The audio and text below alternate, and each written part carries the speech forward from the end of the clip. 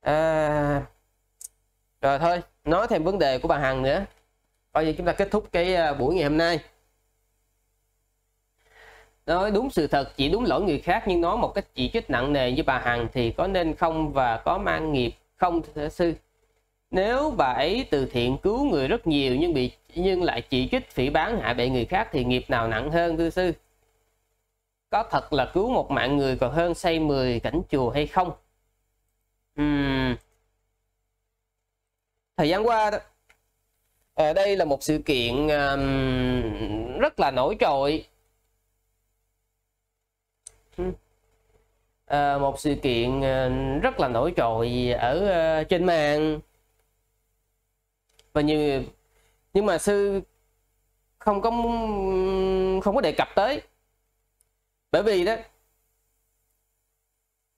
khi mà sư biết là nếu mà mình đề cập tới thì sẽ rất là mau nổi.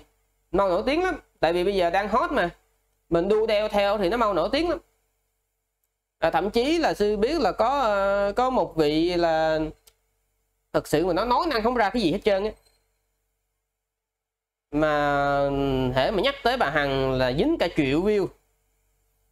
Trong khi đó mình, mình một cái buổi vấn đáp mình có vài trăm view thôi.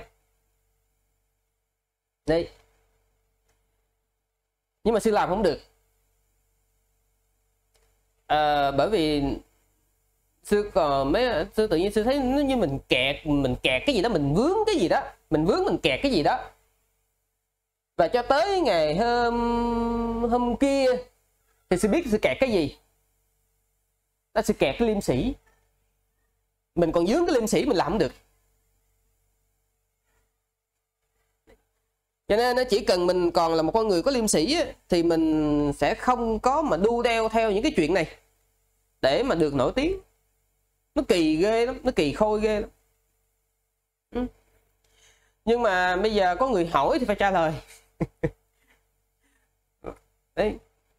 Bây giờ người ta hỏi thì phải trả lời, thấy chưa biết sao giờ. Trong cái vấn đề này đó, thì sẽ nói như thế này này nhớ dùm sư nghiệp trắng cho quả trắng nghiệp đen cho quả đen nghiệp có trắng có đen cho quả có đen có trắng. Thời uh, bồ tát khi mà ngài còn à, ngài còn là một chúng sanh tìm cầu giác ngộ á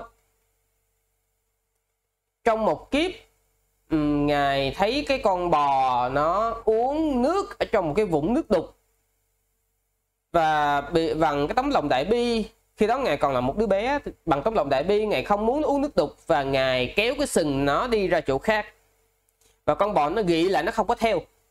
Nhưng mà ngài vẫn ráng ngài kéo nó đi. Thì khi con bò nó cưỡng lại như vậy đó, ngài kéo đi thì ngài có kéo bằng tâm sân. Nhưng mà ngài có lòng tốt là ngài không muốn con bò nó uống nước đục. Uhm.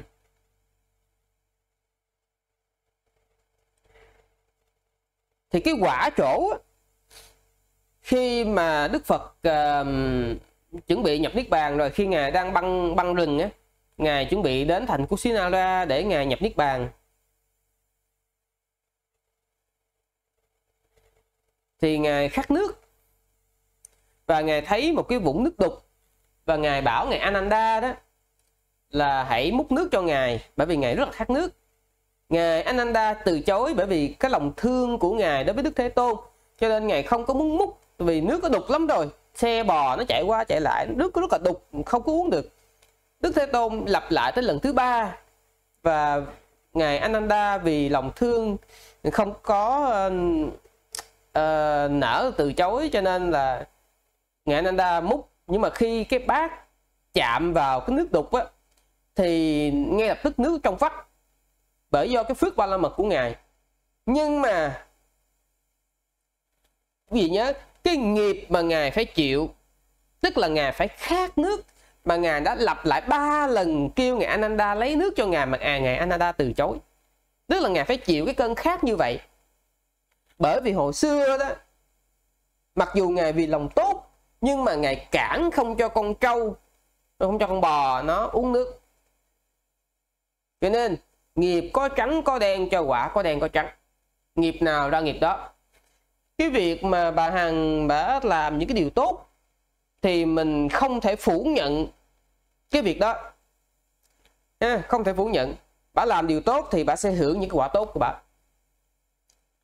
Còn khi mà vị này dùng những cái ngôn ngữ ác độc dùng ngôn những cái ngôn ngữ um, để mà nó um, làm tổn thương người khác, thì bà cũng sẽ phải chịu cái nghiệp do lời nói làm tổn thương người khác.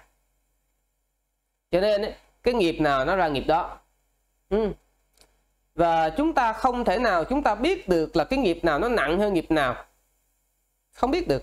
Bởi vì sao? Bởi vì chúng ta không có phải là phật. Chỉ có đức phật á, ngài mới biết được nghiệp và quả của nghiệp cái nào nó hơn cái nào thôi còn đối với chúng ta chúng ta chỉ biết là nghiệp có trắng có đen cho quả có đen có trắng. À, anh bố thí.